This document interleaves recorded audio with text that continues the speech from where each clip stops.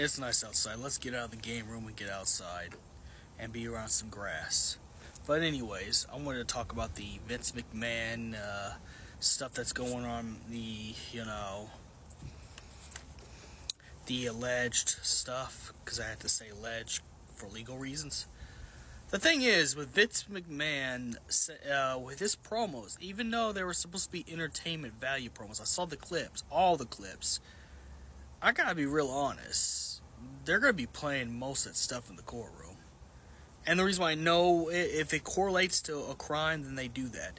It's like when a rapper goes around here, you know, talking about, you know, murking someone because I can't say the word, or unaliving somebody, you know and it's in the song lyric they went to this to this address at this this night time they end up catching that rapper and he gets thrown in prison if you anything know about like the young you know young YNW Melly is the prime example of that the reason why I bring this up is it's also the same thing with the case with Dav against Dahvie Vanity because I mean it did come out, all the stuff came out. But if you paid attention to Dahvie Vanity's music when he was in Blood of the Dance Floor, all of it correlate to the crimes he was committing. Now, I'm not saying, you know, entertainment can't be entertainment.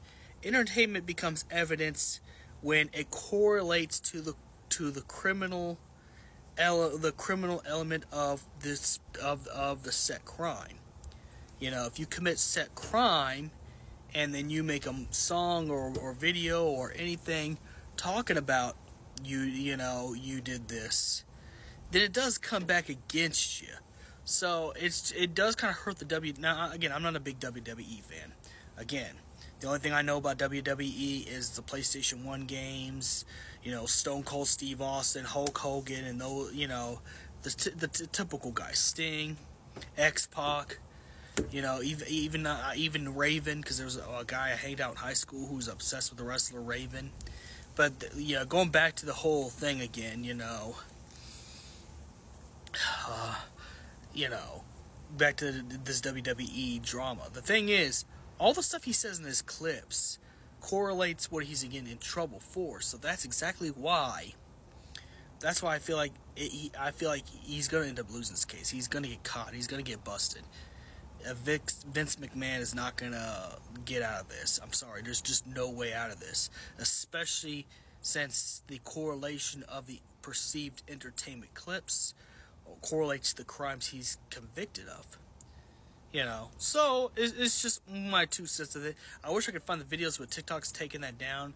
Plus, TikTok's taking out anything with music or anything that's either copyright or controversial topic or topics like this. So they may take this video down too because I'm talking about uh, alleged stuff because I have to say the word alleged because, you know. But yes, they, they might take this video down. But the point I'm trying to get to is the thing is, it stops being entertainment and stuff like that when it correlates to the stuff that you're doing. And then it becomes evidence.